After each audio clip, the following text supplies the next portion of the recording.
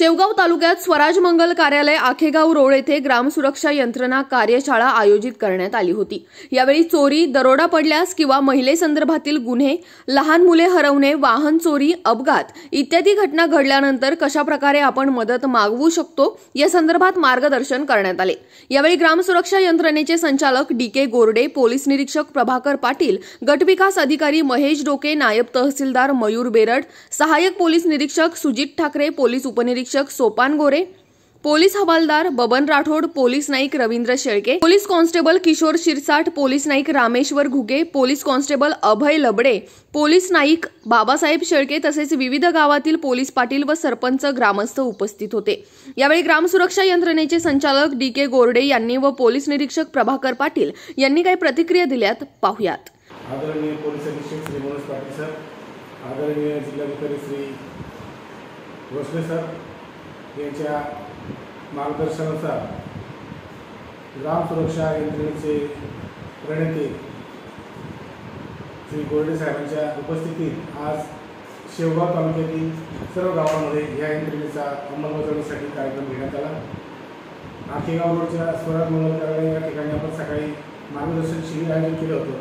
सर्व चौऱ्याण्णव गावाचे पोलीस पाटील सरपंच उपसरपंच ग्रामपंचायत सदस्य आणि गावातील प्रतिष्ठित नागरिक यांच्या उपस्थितीत हा सर्व कार्यक्रम झालेला आहे. ग्राम सुरक्षा यंत्रणा कशी अंमलबजावणी करावी आणि त्याचे फायदे तोटे काय आहे ते सर्व त्यांना समजून सांगण्यात आलेलं आहे. म्हणून ग्राम सुरक्षा यंत्रणा ही तोट्याची नसून शंभर टक्के सर्व नागरिकांच्या फायद्याची असल्याने ती सर्व नागरिकांनी मनावर घेऊन आता आजपासूनच त्या योजनेची अंमलबजावणी करण्याचं कामकाज सुरू झालेलं आहे. सुरुवातीला नाव नोंदणी म्हणजे नंबर रजिस्ट्रेशन्स आणि नंतर कार्यालयीन प्रक्रिया पूर्ण करून ही यंत्रणा थोडक्यात पंधरा दिवसात ही अंमलबजावणी सुरू होणार आहे. या यंत्रणेचा डायरेक्ट असा आहे सर्व नागरिकांना रात्री बेरात्री अवेळी महिला असतील लहान मुलं असतील यांचे अपहरण पळून नेण्याच्या घटना चोरी दरोड अशा घटना. याच्या होतात ह्या गुन्ह्यांना या सर्व घटनांना आळा घालण्यासाठी पायबंद घालण्यासाठी ही यंत्रणा खूप शंभर टक्के यशस्वी आहे असा अनुभव पुणे जिल्ह्यात आहे.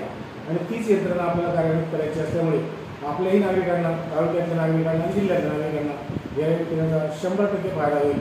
म्हणून सर्व नागरिकांना आता मनापासून पटलं की यंत्रणा आपल्याला अंमलबजावणी केल्याशिवाय राहायचं नाही आणि ही आपल्या फायद्याचे आहे. म्हणून या यंत्रणेच्या अंमलबजावणीसाठी सर्व नागरिक आता सरसावलेले आहेत आणि सर्व प्रशासकीय यंत्रणेच्या अडचणी दूर करून आता थोड्या दिवसात शेवगाव तालुक्यात शंभर टक्के क्षमतेने ही यंत्रणा सुरू होणार आहे. आणि तेव्हापासून आता गुन्ह्याला आळा आहे आपण. पण गुन्ह्यांना आणि अनुचित प्रकार जे होतात त्यांना आळा घालण्यात अजून आपल्याला यश येणार आहे. म्हणून सर्व नागरिकांच्या हितासाठी ही योजना आहे. माझं नाव आवाहन करत सर्व नागरिकांना.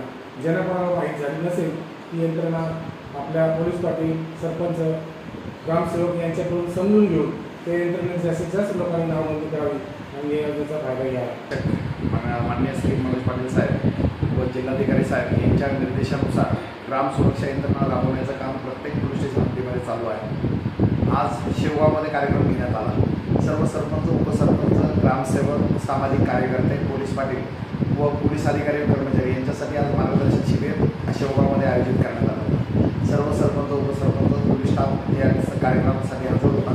शेवगाव पोलीस स्टेशनने अतिशय उत्तम नियोजन केलं.